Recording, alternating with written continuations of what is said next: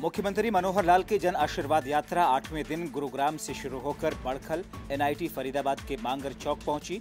यात्रा में हिस्सा लेने के लिए भारी संख्या में जन समूह उमड़ पड़ा। लोगों ने जगह जगह गर्म जोशी से मुख्यमंत्री का स्वागत किया तो वहीं मुख्यमंत्री ने भी लोगों का अभिवादन स्वीकार कर उनका आभार जताया। सिरसा में आज जेजेपी और बसपा की संयुक्त बैठक का आयोजन किया गया। इस बैठक में जेजेपी नेता दुष्यंत चौटाला और बसपा नेताओं ने मिलकर कार्यकर्ताओं को संबोधित किया। जेजेपी नेता दुष्यंत चौटाला ने बताया कि प्रदेश के सभी 22 जिलों में इस तरह की संयुक्त बैठकों का आयोजन किया जा रहा है और दोनों पार्टियाँ मजबूती के साथ मिलकर विधानसभा चुनाव लड़ेंगी। प्रदेश भर में चल रही सफ़ाई कर्मचारियों की हड़ताल का आज दूसरा दिन है। सफ़ाई कर्मचारियों की हड़ताल का असर पूरे प्रदेश में देखने को मिला। हड़ताल को लेकर अलग अलग जगहों पर कर्मचारियों ने सरकार के खिलाफ धरना प्रदर्शन किया और जमकर नारेबाजी की। सरकार पर वादा खिलाफी का आरोप लगाते हुए सरकार के शहरी स्थानीय निकाय विभाग और ग्रामीण क्षेत्र के करीब बयालीस हज़ार सफ़ाई कर्मचारी मंगलवार से तीन दिन की हड़ताल पर रहे।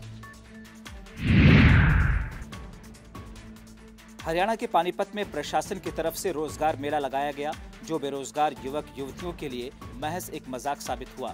सैकड़ों की संख्या में युवक युवतियाँ इस उम्मीद से इस मेले में पहुँचे थे कि शायद उन्हें इस मेले में रोज़गार के कोई अवसर मिले, लेकिन ज़्यादातर युवा मेले से नाराज़ होकर निकल पड़े।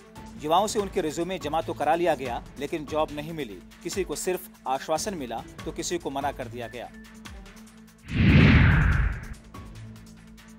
हत्या, लूट और कई संगीन वारदातों को अंजाम देने वाले दिल्ली के दो शार्प शूटर को झज्जर पुलिस ने गिरफ़्तार किया है। गिरफ़्तार किए गए बदमाश सोनू और इब्राहिम का संबंध गैंगस्टर अशोक प्रधान के गैंग से बताया जा रहा है। एसपी के मुताबिक पुलिस की गिरफ्त में आए ये बदमाश बहादुरगढ़ में किसी संगीन वारदात को अंजाम देने की फिराक में थे, लेकिन पुलिस ने एक गुप्त सूचना के आधार पर समय रहते इन्हें धर दबोचा। जाटौली हेली मंडी में लोगों ने जन स्वास्थ्य विभाग पर अनुसूचित जाति के वार्ड के साथ भेदभाव करने का आरोप लगाया है। वार्ड के लोगों ने एसडीएम को ज्ञापन सौंपकर दूषित पानी की हो रही सप्लाई के जल्द ठीक करने की मांग की है।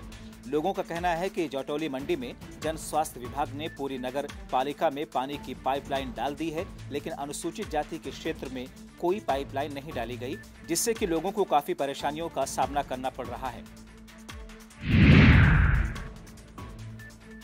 हरियाणा के टोहाना क्षेत्र में एक युवती के साथ शादी का झांसा देकर दुष्कर्म करने का मामला सामने आया। पीड़िता के मुताबिक अमनदीप नाम के शख्स ने उसे प्यार और शादी का झांसा देकर उसके साथ कई बार दुष्कर्म किया।